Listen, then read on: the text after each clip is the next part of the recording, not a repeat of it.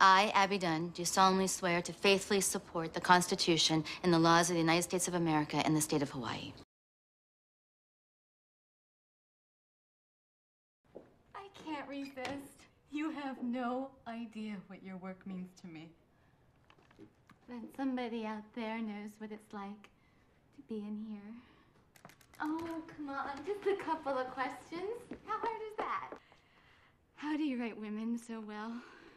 I think of a man, and I take away reason and accountability.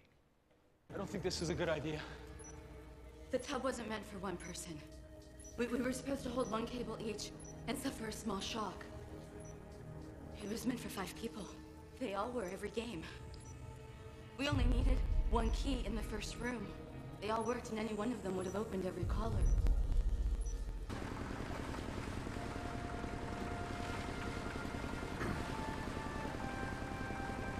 What do you do stateside? I teach. Sixth grade.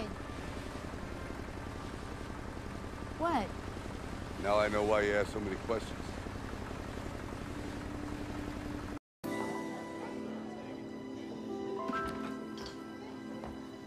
Well, look at you, Mrs. Claus.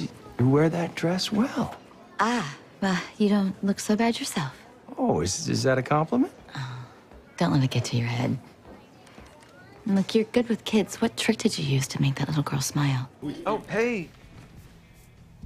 Juju, sweetheart, you girls finished practice already? Uh, V's still going. Juliet's our youngest. I thought you had twins. Two minutes apart. I'm just saying, there's a billion people on this planet, and everybody wants to have their moment in the spotlight, and it's not gonna happen. The Instagram generation needs to be more realistic about long-term career prospects. I don't have social media, so. Oh, good. Well, that's a start. Dad, what time are we leaving tomorrow? Oh, whenever you want. They're at boarding school, Lindbergh Academy.